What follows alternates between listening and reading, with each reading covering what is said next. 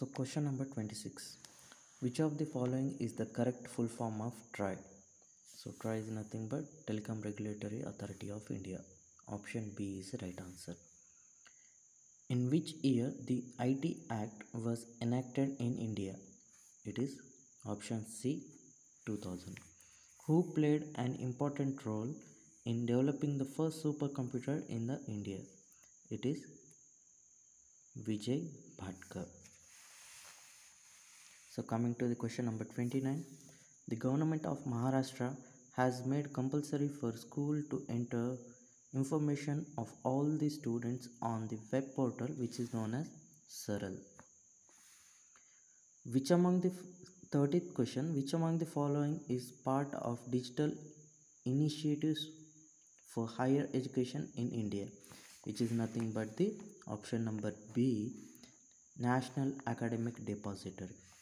So question number 31, one of the following waste is not hazardous one, which is the agriculture recite.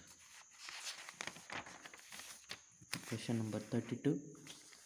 UN Conference on Environmental and Development in 1992 was held at Rio de Janeiro.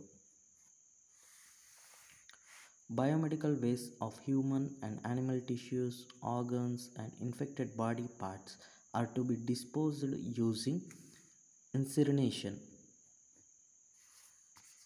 So, question number 34 Landslides hazards are common in the hill region due to loss of vegetation, loss of soil, cuttings of hills, slopes.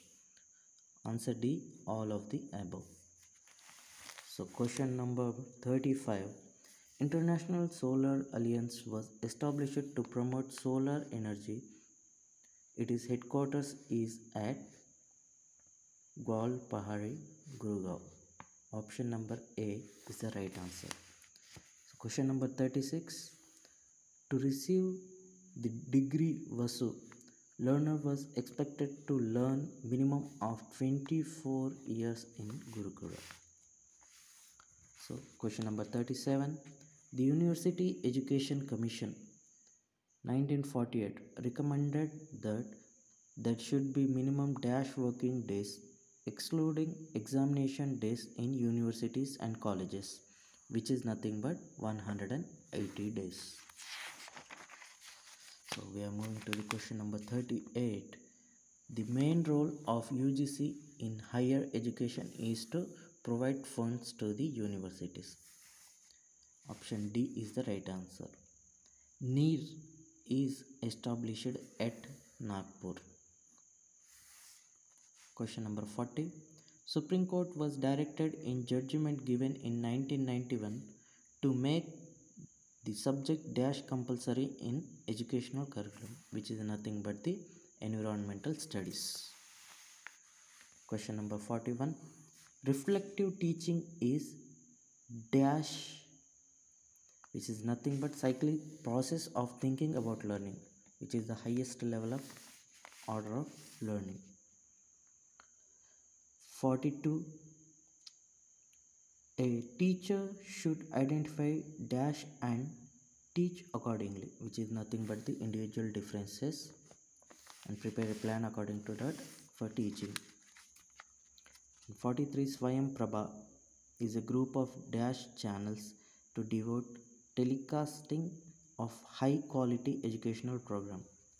32 DTS channels are there which will be running on 24 by 7 basis. Okay.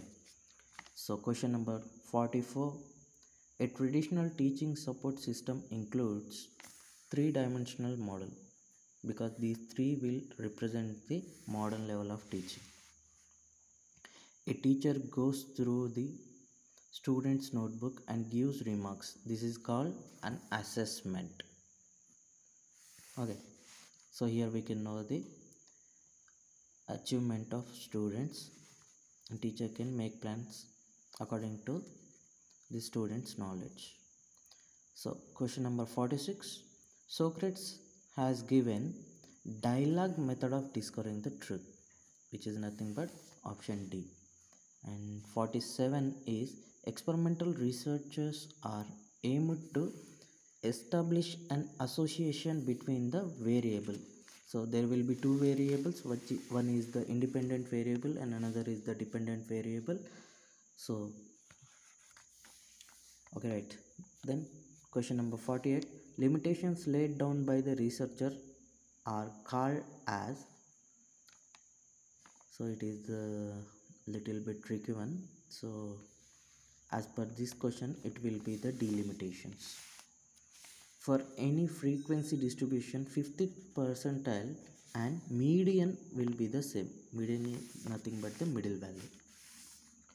A researcher uses data of earlier research paper and publishes a new research paper. This is called an unethical